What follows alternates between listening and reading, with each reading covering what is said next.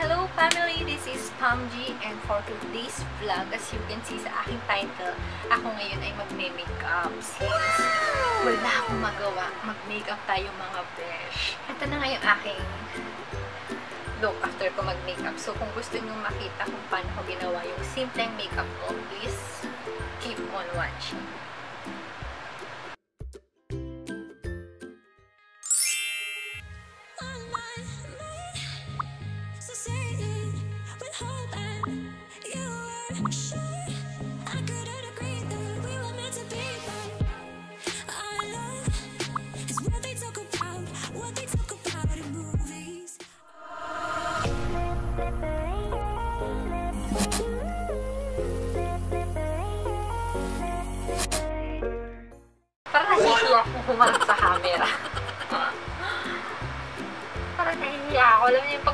Makeup, feeling ko nakakubad ka. As.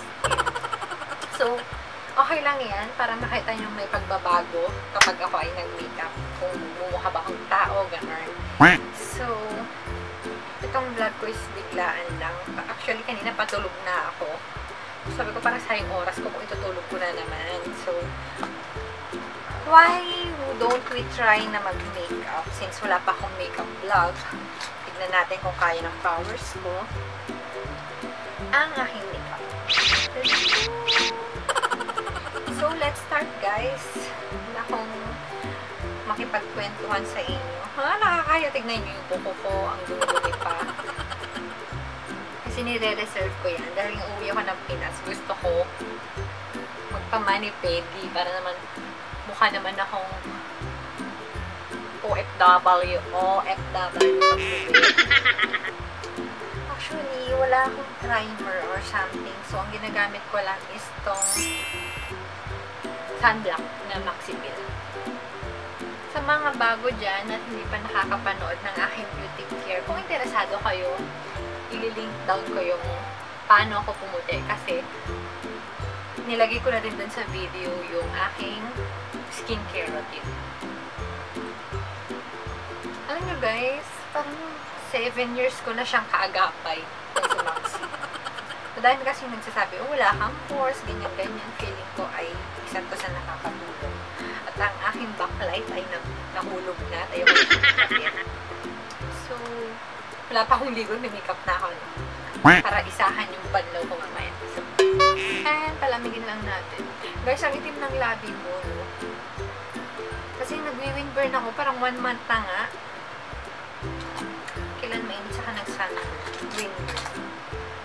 Next is yung aking Essence Foundation All 16 Hours Long Lasting Makeup daw.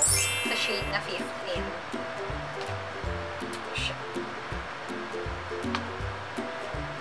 Pinakamaputing shade yata is yung 10. Ang hirap kasi wala akong salamin. Bali, dito lang ako sa camera nagsasalamin. And hindi ko alam kung sakto yung pagkakaano sa camera.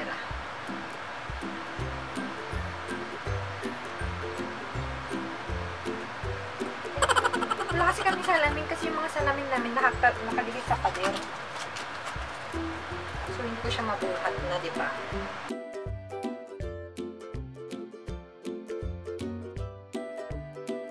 Hindi ko nalalagyan yung leg ko para hindi masayang yung foundation ko kasi ano lang naman ito. Makeup eme-eme lang to. Guys, just disclaimer lang, no? Hindi ako beauty expert, beauty guru, or something beautiful lang tayo. o yung basher ko dyan. The bracelet. Mukhang fresh ba?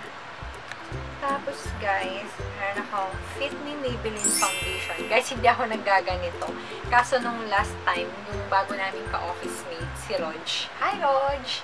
Kaya mo yung si Amo. um, sabi ko, parang lagi yung fresh yung face niya. Tapos pag tumingin ako sa salamin, ang oily-oily ng face ko. Tapos nakigamit ako ng kanyang pundasyon. Ay, aba, nakaka-fresh siya, besh. So, bumili ako agad-agad nung nakita ko yung effect. Kasi hindi talaga ako mapagbili ng mga ganito. Hmm. Tayo naman ay magkikilay. grabe yung kilay ko. Oh, ang daming hair. Ah, dyan, dyan, dyan. Bago ako nagkikilay, kahit merong ganito, tinatasa ko.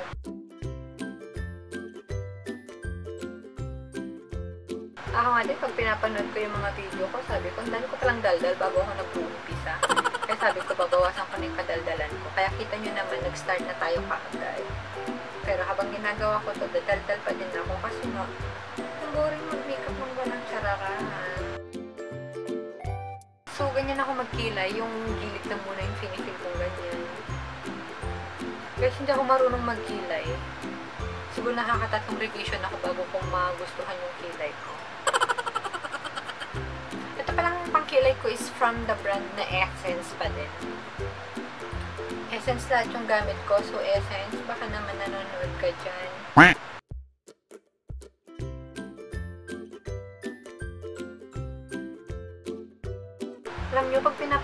Michelle D, bilib na bilib ako. Sabi ko, ang galing-galing naman ng babaeng to. Parang ang dali-dali lang ng mga ginagawa niya.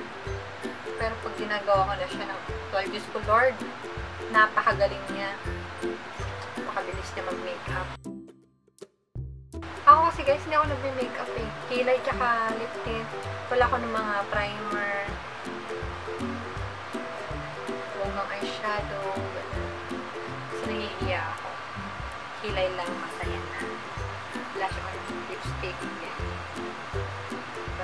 madaming patong na layer sa mukha, hindi ko siya alam gawin.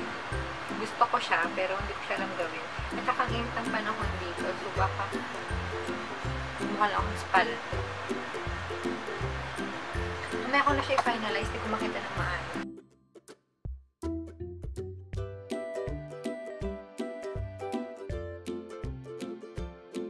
Hindi ko masundan yung tamang guhit ng kilay ko kasi ang daming buhok dito, kalat-kalat.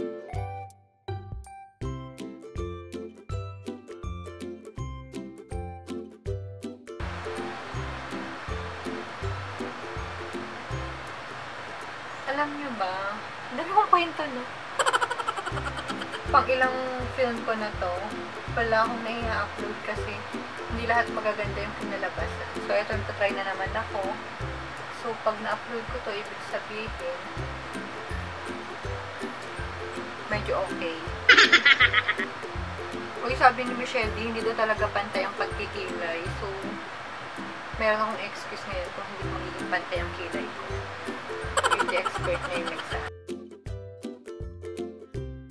Kaya, nagkakakulay na ang face mo, Day. Batiday. Next is the kinikilig ka kapag naka-blush ka. Ang sinasabi ko? Ever Bilena. Ganito lang yung aking blush on kasi naglalas talaga siya ng matagal. Hindi mo na kailangan i, retouch ang blush. Parang sinapak ni mo.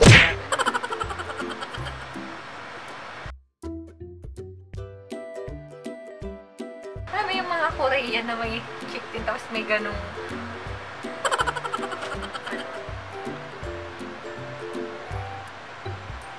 Okay naman na siguro siya. Pero retouch na ako mamaya. Madali ang makeup din. Next ko after ko mag-blush is hindi ko alam kung mag-eyeshadow ako. Though hindi naman ako marunong kasi. So, let's try na din. Ang aking palette ay, ang kaisa-isa kong palette is to Wet n Wild. Ang niya.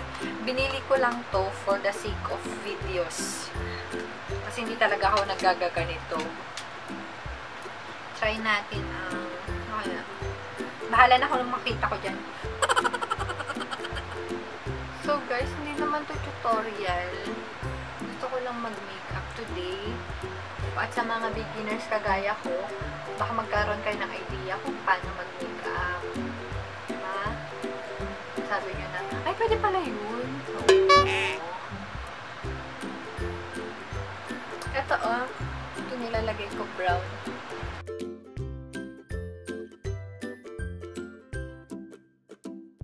Sabi ko kanina nung nag-aayos ako dito, pag may makeup ako, makeup ng in love kasi nag-uumapaw yung kailaban ko ngayon. Kaso, baka ang kalabasan ng makeup na to ay bitter na bitter. Kami ako na lang masasabi kung makeup ng in love or makeup ng bitter yung ginawa ko.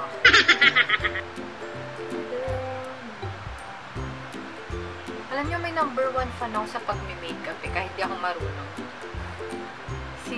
Tita Del, tuwing pupunta ako sa kanila noon, sinasabi niya, ang ganda-ganda naman ng kilay mo, ang galing-galing mo naman mag-makeup, oh, di ba?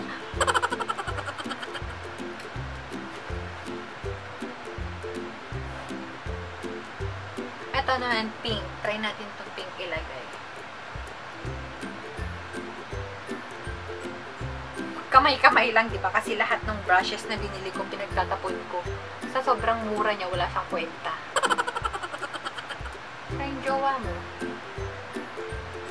walang kwenta,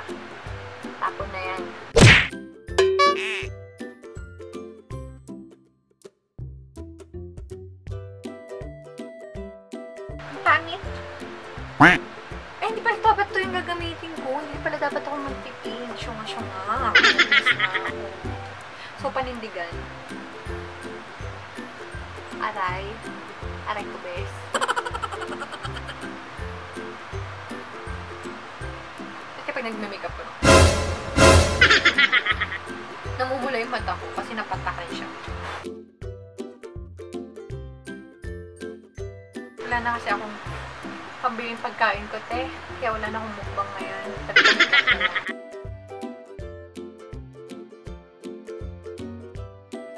Nakita niyo ba yung pagbabago? Mukha ba ng from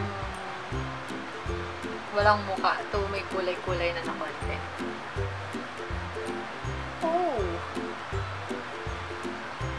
Brush out natin yung mga powder-powder something dyan. Hindi ko gusto tong pink kasi gusto ko siyang panindigan. Tatapan ko siya ng parang itong Shining Shimmering Splendid. Shining Shimmering Splendid.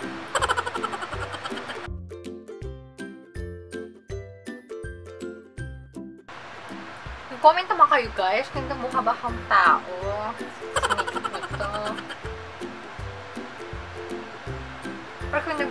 momo, pwede din. Hindi naman ako pikonin. Pero pag si Pamboy nagsabi, mapipikot ako.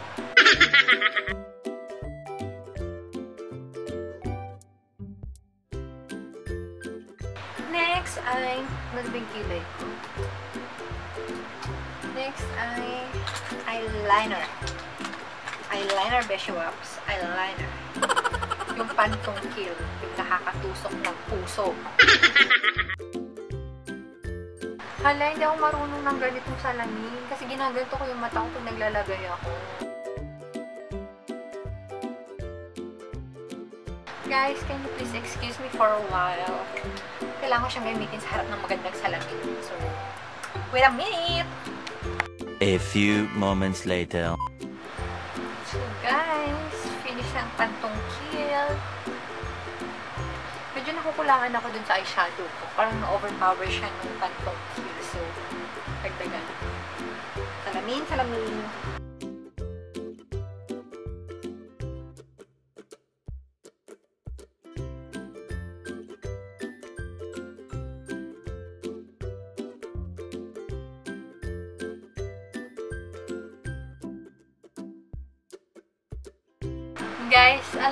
Brand na Mary Kay? Dati kasi may inatendan akong seminar doon. Wala, naisama lang ako ng friend. Doon ko nalaman na dapat ang ginagamit pag finger mo yung gagamitin mo sa pag-makeup is eto. Kasi siya yung may light na weight para daw hindi masagsag yung ating face lock. Trivia sa mga hindi nakakaalam. Or baka ako na lang yung ngayon lang nakakaalam. Shoot.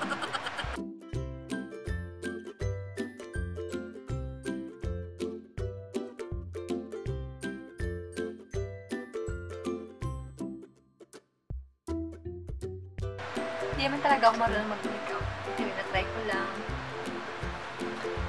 Ayan. Tapos, next ay, hala na, wala yung mascara ko.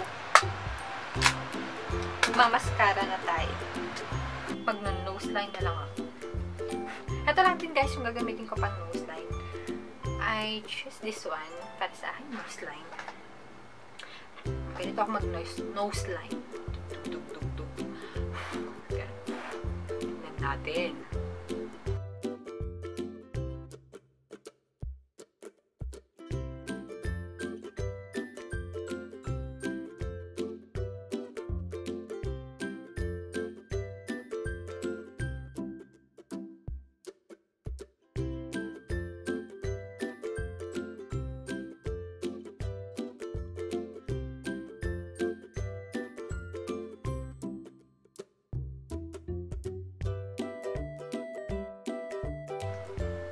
Tapos, di ba? Parang kung nagpa-retoke ako. Sira na retoke yung kinalabasan.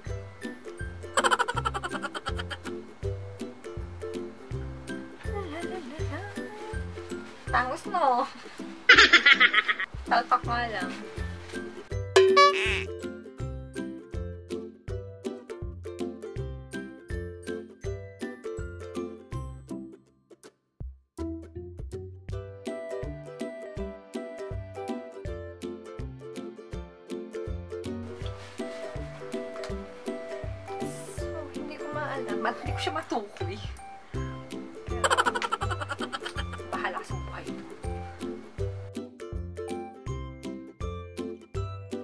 Next ay foundation. Gagamitin ko na si Fit Me Foundation sa shade na 115.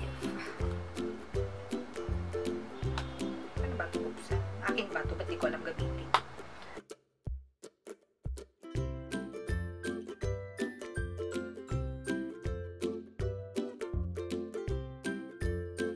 Ha? Nawala yung na-foundationan ko na yung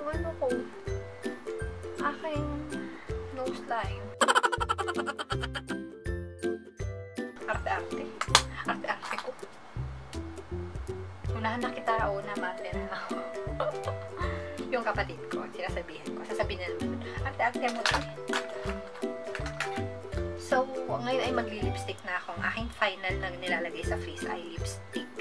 Actually, guys, sobra talagang mahal naman ko tong lipstick na to. Alam niyo, hindi ko siya ipagpapalit. Kasi, nung first time na bumili ako nito, tuwang-tuwa ako sa kanya. Sa sobrang tuwang-tuwa ako, ganito na lang natira.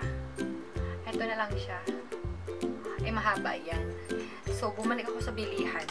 Wala akong nahanap. Ito na yung pinakamalapit na shades. So, pag ginagamit ko siya, may pagka-orange siya. Hindi ko gusto. Ayan.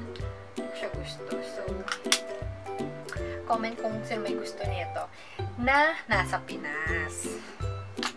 Baka ang mga Team Diamond Sword mag-comment. Huwag muna kayo mga Beshi Wabs. Eto na. Eto, may pinuntahan na akong supermarket at nandun siya guys. Yung favorite ko, eto. Itong busta, nahanap ko siya doon. Wet and Wild. O, ngayon ko pa lang siya bubuksan. Ay, hindi ko siya bubuksan. Ito na lang gagamitin ko.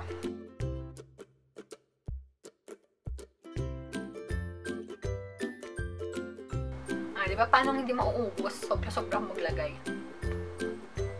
Ang pangit ng lips ko nagda-dry.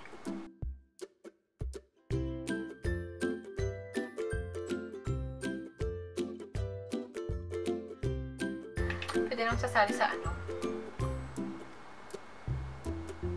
Gay pageant, no? O, diba? Kaya ko siya gusto kasi parang nakakadalaga lang siya. Pichi-pichi. Hmm, malagkit pichi-pichi.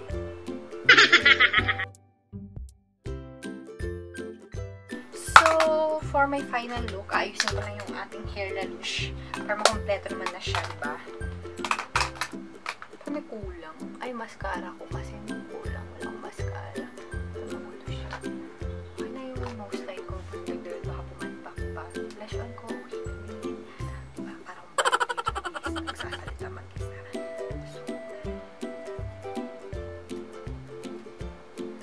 ako. Ayusin ko lang itong buhok. A few minutes later. So guys, here's my final look. May pabebelo. Sobrang bait yung pa. Nakakadalaga.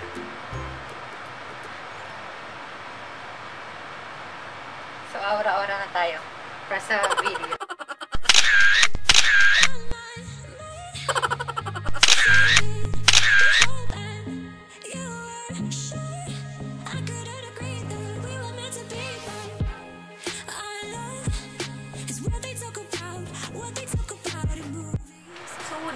For today, guys. I hope naman na nakatulong ako ng very light sa inyo para sa mga kapwa kong hindi marunong mag-makeup dyan. Malay mo, nakatulong ang video na to sa'yo. And if nakatulong to, please give me a thumbs up and don't forget to subscribe to my channel kung bago ka po sa aking channel. Please subscribe and hit the bell button below para ma-notify kayo tumutuko sa aking bago kong video. Guys sa aking next video and I hope sa next video ko tayo ay nasa Pinas na tuloy ang mukbang pag nasa Pinas na guys. Feeling ko first and last video ko na to sa makeup kasi ang hirap, sobrang struggle sa akin. Wala akong brushes, wala akong complete set ng mga makeup so siguro pag naka-LL na tayo sa buhay, luwag-luwag, may din ako ng makeup at magagawa ko ng maayos ang makeup ko. So, see you guys!